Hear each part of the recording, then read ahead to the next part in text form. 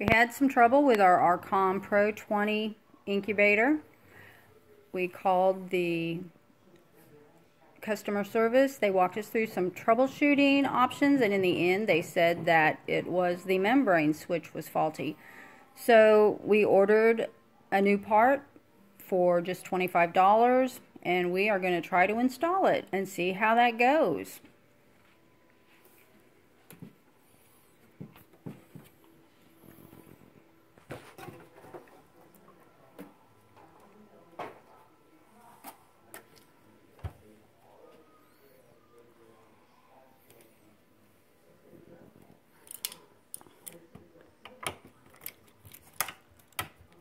First we got to unscrew the screws.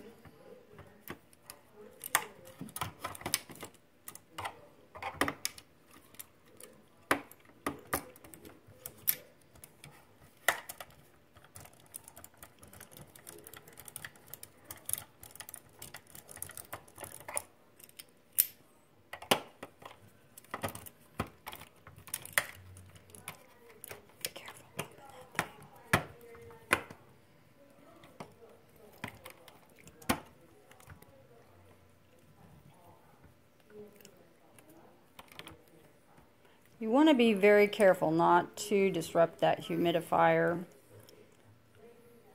or you could damage it.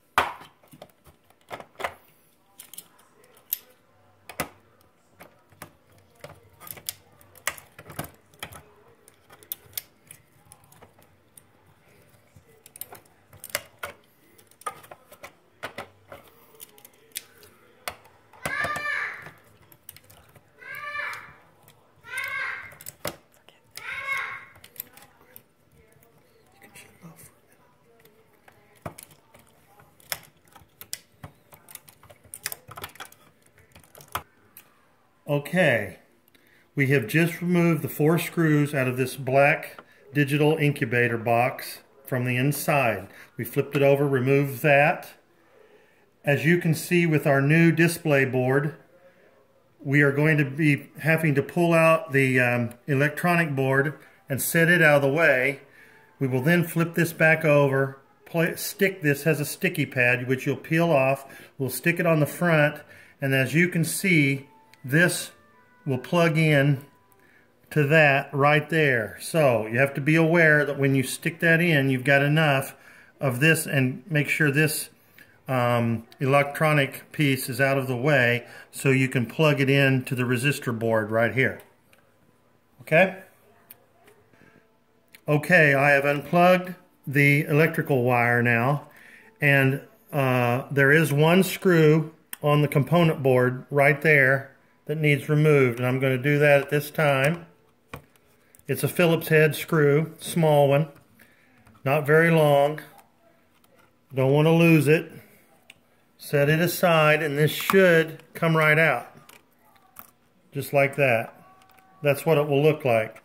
Now, since we have that removed, we're going to go around this back side and we're going to uh, pull off the uh, elast or the uh, component display piece. What's it called?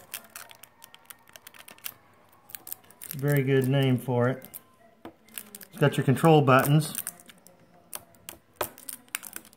Stop it. Okay, now what I've done, this is officially called the membrane switch. I took a knife and peeled that off. The elastic on there is very sticky, so you're going to have to just kind of go with that knife very gently around that. And as you can see, I'm peeling that off. Just like that. Okay, that's the old one. What we're going to do now is we're going to put the new one in and you remove the 3M backing. Make sure you get it on there very straight and secure because as you push those buttons, you want to get a good contact with the front of this board. So when you push the setup buttons or that or the up and down and all that, that it's uh, got a good backing to it and you can get a good contact as you push the button.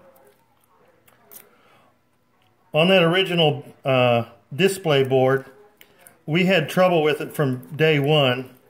I'm not sure what happened, why it malfunctioned. Something as delicate as this, it, it uh, I suppose it would be easy. The other thing you want to be very careful with is the humidifier, which we have it sitting on, but we it's better to not have the weight of the machine sitting on it. So put your screwdriver or something to keep it up, kind of up off of there. Don't put too much weight on it.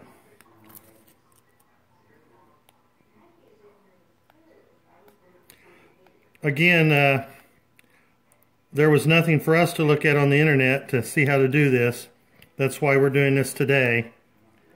Uh, hopefully it'll help you guys out.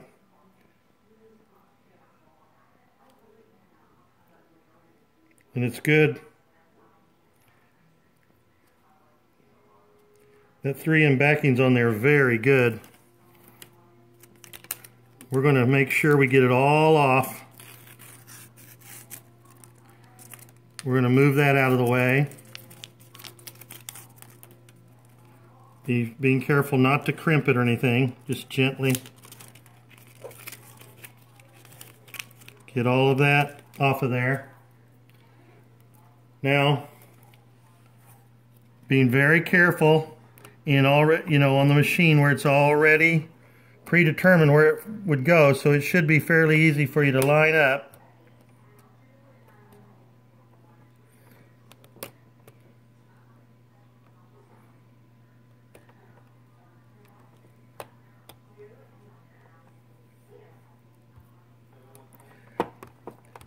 And it's better to stop, start at the top and just kind of work your way down, making sure your 3M backing's getting good connection all the way around. I'm to just work my finger all the way around the edges and in between the buttons so that adhesive really seals because we don't want to have any more trouble with this particular incubator. And I have it on there good. So now we're going to flip it back over, once again being very careful uh, with that humidifier. I'm going to spin it around so I can work on it from the front here. Again, we don't want to crimp our, whatever that thing is called.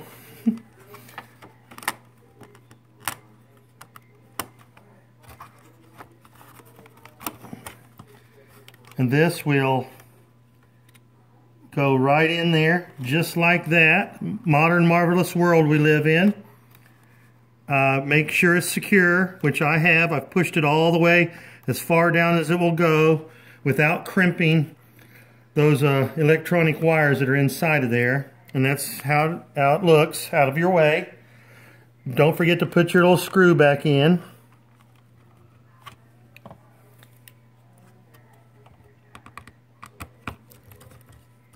Sealing your component board down carefully. You don't want it coming loose later or flopping around in there. You want it to be good and secure.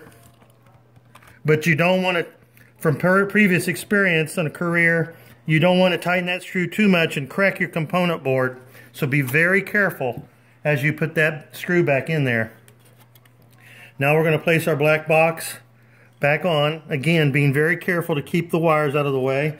As you'll notice, remember on your black box, there is a notch cut in it from the factory for, the, for those wires because you don't want uh, just age and years of uh, rubbing on that wire. So make sure those wires are in your little pre-factory uh, cut notch. And now we're going to put the screws back in it.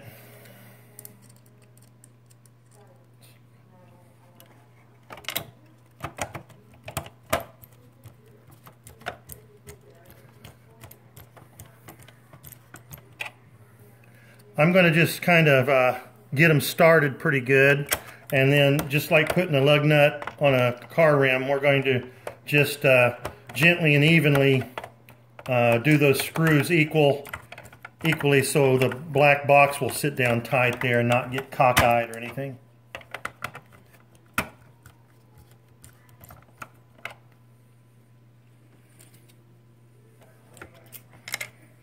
And those screws do drop right down in there, so you won't have any trouble getting them started. Uh, from the factory, they've got that bored out pretty good. Those screws just drop right down in there. And again, we're just uh, taking our time with it. It's better to take your time. Try and keep from hitting that humidifier if you can. We've been told that